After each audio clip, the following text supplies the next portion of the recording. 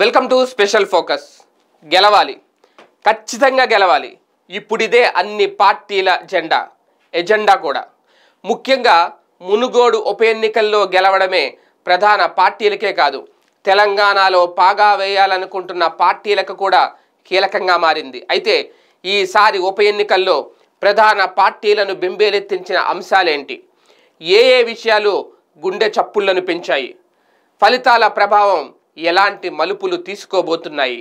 ఇదే ఇప్పుడు ప్రధానంగా చర్చనీయాంశమవుతోంది. దుబ్బాక హుజూరాబాద్ ఉప ఎన్నికలన్నీ ఒక ఎత్తు అయితే మునుగోడు ఉప ఎన్నిక మరో లెవెల్. మునుగోడు ఉప ఎన్నికను తెలంగాణ రాజకీయ పార్టీలన్నీ సెమీఫైనల్స్గా భావించాయి. ఇక్కడ గెలిచే పార్టీకి ఫైనల్స్లో అడ్వాంటేజ్ ఉంటుందని నమ్మకంగా చెబుతూ వచ్చాయి. అందుకే శక్తి వంచన లేకుండా ప్రయత్నించాయి.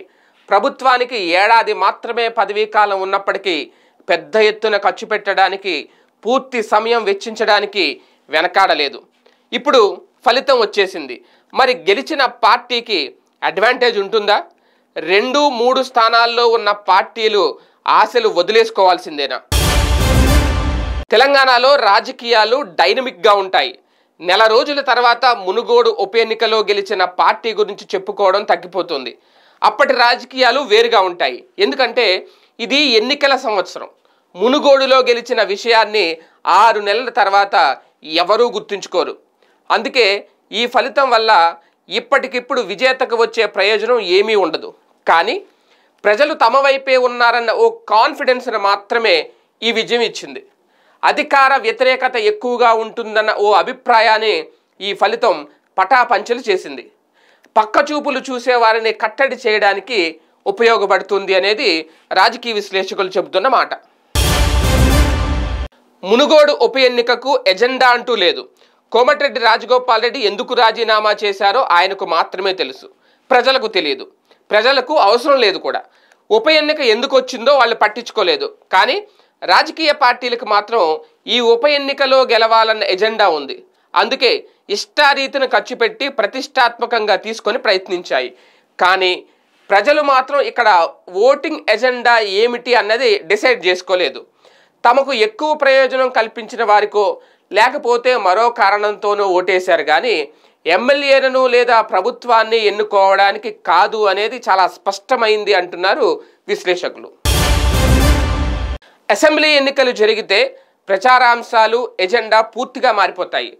ఉప ఎన్నికల్లో ప్రజలు ఓట్లేసేది ప్రభుత్వాలను మార్చడానికి కాదు కానీ అసెంబ్లీ ఎన్నికల్లో మాత్రం ఓట్లేసేది ప్రభుత్వాలను మార్చడానికి లేదా కొనసాగించడానికి. ఈ ఎజెండా ప్రకారం ప్రజలు ఓటేస్తారు. అందుకే ఉప ఎన్నికలతో పోలిస్తే అసెంబ్లీ ఎన్నికల్లో భిన్నమైన ఫలితాలు వస్తాయి.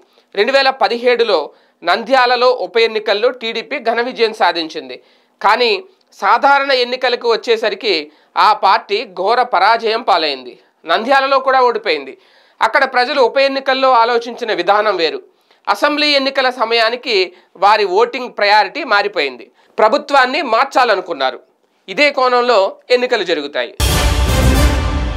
రాజకీయ పార్టీలు ఉప ఎన్నికల్లో గెలిచినా గెలవకపోయినా ఎలాంటి ప్రభావం ఉండదు. ఫైనల్స్లో మాత్రం ప్రజలు ఓట్లేసే విధానం వేరు. అయితే ఉప ఎన్నికల్లో వచ్చే ఓట్లు శాతాలు మరీ తక్కువగా ఉంటే ఆ పార్టీ మరీ చిక్కిపోయిందన్న అభిప్రాయం ఏర్పడుతుంది. అది ఆయా పార్టీలకు మంచిది కాదు అంటున్నారు రాజకీయ విశ్లేషకులు.